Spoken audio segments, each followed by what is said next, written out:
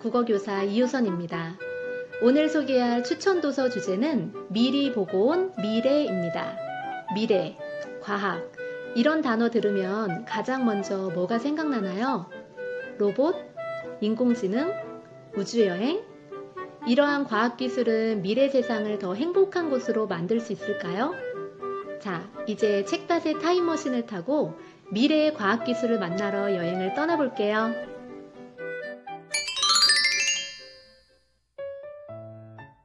첫 번째 책은 곽재식의 미래를 파는 상점입니다. 미래를 파는 상점? 제목부터 우리의 호기심을 자극하네요. 2050년 미래, 동네에 상점이 생겼습니다. 미래 세상에는 어떤 물건이 유행할까요?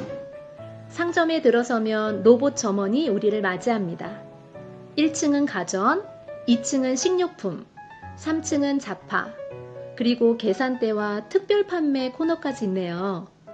신기술은 우리의 일상을 어떻게 바꿔놓을까요? 과학적 기술력을 바탕으로 한 실현 가능한 미래의 모습은 어떤 모습일까요? 작가가 예측한 세상을 바꿀 15가지 물건을 확인해 보세요.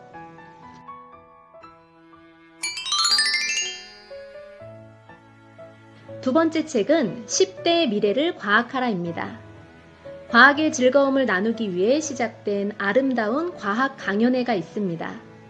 전국 곳곳에 있는 청소년에게 기꺼이 과학 강연을 기부하겠다고 자원해준 과학자들이 있는데요.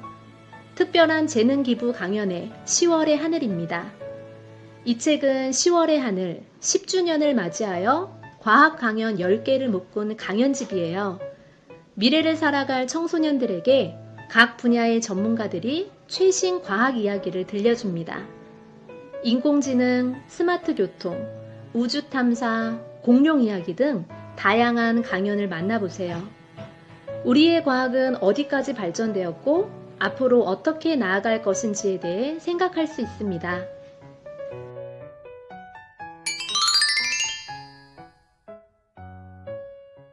세 번째 책은 바이오닉 맨입니다. 600만 불의 사나이라는 옛날 미국 드라마가 있어요. 불의의 사고로 중상을 입게 되는데 인공장기를 이식받아 초인적인 힘을 가지게 된 사나이죠. 만원경 같은 눈으로 멀리 있는 물체를 20배 줌으로 보고 무쇠다리로 시속 100km를 달려 악당을 물리칩니다. 생체공학은 인간의 장애를 극복하기 위한 것에서 시작되었지만 인간이 지닌 모든 한계를 극복하고 뇌와 기계를 결합한 신인류의 탄생을 예고하고 있습니다. 뇌공학을 포함하는 생체공학의 현재와 미래를 만나보세요. 생체공학 분야의 미래는 곧 인간의 미래입니다. 네 번째 책은 로봇 수업입니다. 로봇은 미래 사회 이야기라고 생각하나요? 로봇은 이미 다양한 형태로 우리 곁에 있습니다. 게다가 국제 로봇 연맹에 따르면 우리나라는 로봇 소비 세계 1위 국가라고 하네요. 이 책은 다양한 각도에서 로봇 공학을 조망하고 최근까지 이루어진 로봇 공학의 발달상을 구체적으로 기술하고 있습니다. 그리고 또 중요한 것은 로봇 자체가 아니라 로봇으로 인해 달라질 생활 속의 규범, 노동에 대한 정의, 학교에서 교육할 내용 등입니다. 인공지능 시대의 필수 교양이 된 로봇공학, 이 책으로 만나보세요. 오늘은 미래를 살펴볼 수 있는 책 4권을 소개했습니다. 어때요? 읽어보고 싶은 책 골랐나요? 오늘 소개한 책들은 먼 미래에 대한 이야기가 아니라 과학적 근거를 설명할 수 있는 곧 다가올 우리의 미래에 대한 이야기입니다.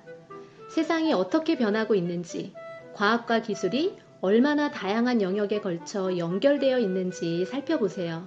그리고 여러분도 여러분의 미래에 대해 상상의 나래를 펼쳐보세요.